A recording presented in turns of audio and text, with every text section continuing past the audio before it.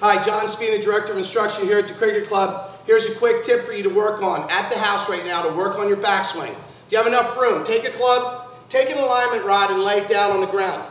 What you want to do is set the alignment rod so that it's an extension of the line at which you'd be swinging, or the target line. And then from there, you want to start to work on your takeaway. So when you're taking the club back, allow your body to turn.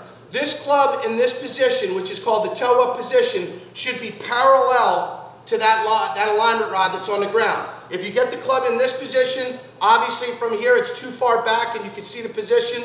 Or if I get it like this, I want to have the position so that the alignment rod and this club at this point are parallel to each other. From there, you want to allow the club from here to hinge up and as you go to the top of your swing, you want to kind of envision a light coming out of this butt of the club. Once you go to the top of your swing from the takeaway, you want to feel that that light, as you finish your turn, is pointed back at an extension right on that line of that alignment rod. So you're really working on two things in the backswing. Number one is the takeaway, and number two is completing the backswing so that the club is up over your shoulder and the angle at which the club is pointing is along that target line, right along that alignment rod. You keep doing this, and you really can start to feel the club getting up in a better position. Remember, the stuff you do at home right now could really prepare you to get ready once we start getting out and playing for the season.